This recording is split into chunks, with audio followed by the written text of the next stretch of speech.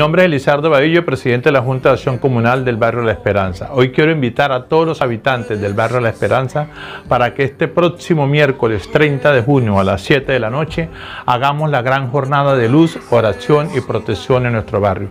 ¿Qué vamos a hacer? Vamos a colocar todos al frente de nuestra vivienda una velita, vamos a encender una, una velita, vamos a orar por las almas que hoy partieron de nuestro barrio tristemente a raíz del COVID-19, por las personas que están enfermas por esta enfermedad, para que puedan tener la sanidad y también por la protección de todos y cada uno de los habitantes de nuestro barrio. Así que este miércoles 30 de junio a las 7 de la noche estamos invitando a todos los habitantes a que hagamos esta gran jornada de luz, oración y protección. Y que ojalá a esa hora en ninguna de nuestras viviendas esté un televisor o la radio encendida para que todos podamos estar unidos en oración.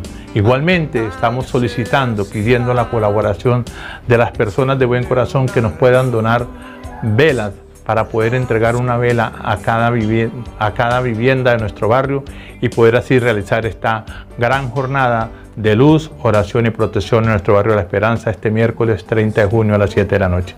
Recuerden, hoy es por ellos, mañana tal vez es por nosotros.